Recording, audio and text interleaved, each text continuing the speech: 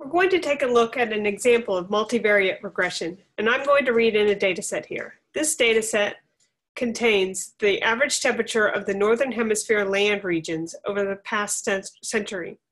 So let's start out by plotting the data so we can see what it looks like, and there it is.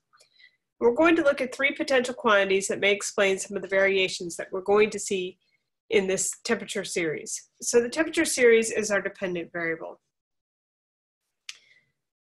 And our, we're going to look at three different independent variables. One of these independent variables is a simulation that I've done using a climate model called an energy balance model that we'll be talking about in a future lesson.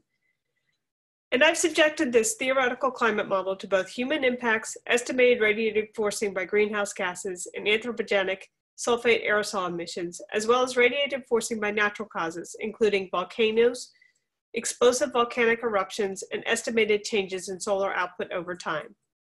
So let's take a look at what that simulation looks, look, looks like. So let's click year in EBM.